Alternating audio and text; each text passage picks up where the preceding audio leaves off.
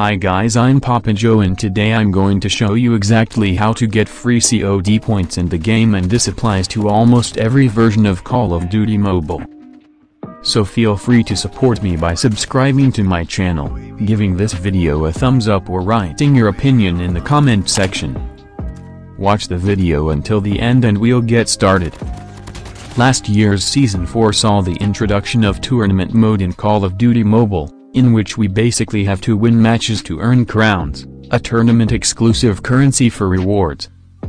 When you reach the marked number of crowns you will get the free rewards like tournament camo crates which contain the current seasonal camo and other camos or you will get the tournament winner crate which contains the current seasonal camo for melee weapons as well as different MVP emotes which can be unlocked by shard cards.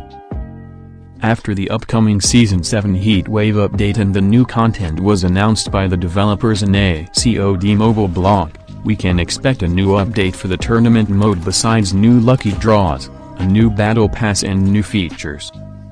You will certainly have heard about it, and of course I have already shown you the first information about it in a video. The official Call of Duty mobile blog says the following about the new tournament update, Boost your Call of Duty points earnings with the new rewards spinner, appearing at certain intervals throughout each tournament. Spend them towards your next battle pass or store purchase for access to premium content. With this short text paragraph, we haven't actually received any information on how we will get the free COD points.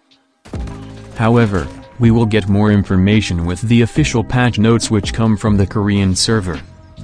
According to the information, a lottery system will be introduced in the new Season 7 in the tournament mode which will offer rewards like COD points, tournament winner crates and credits.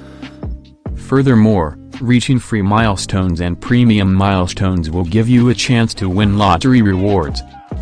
The lottery will end every Wednesday, according to the information. If we now look at the tournament mode after the new Season 7 update, we see next to the new tournament crates and the operator skill skin as well as a brand new reward which looks like a ticket and will be for the lottery. Interestingly, the free milestone rewards and the premium milestone rewards will each give you a ticket, so by purchasing the premium rewards and reaching 100 crowns you will get a total of 2 tickets which you can then redeem in the lottery. So every free-to-play player among you definitely has a disadvantage compared to those who buy the premium rewards. Currently you can click on the tickets and the legendary KN44 color spectrum will appear which is of course only a placeholder and has nothing to do with the tournament. I think that the chances are rather low to really get free COD points in the new lottery system. When I think about how many COD points I spent just to get the included legendary weapon skin, I assume that you don't really have the possibility to get the CP. Furthermore, the lottery is supposed to include rewards such as credits and tournament winner crates, so it's less likely that you'll actually get anything good. Of course, I may be wrong and each of you will win COD points but it is COD mobile. In the end, you probably need luck to really get the free COD points in new tournament system. However, as I mentioned earlier, I may be wrong and each of us will receive free CP. and that's it for the video. I hope you liked it and enjoyed it.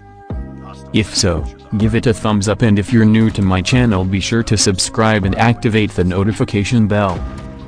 Don't forget to check out my other videos on my channel. Thank you so much.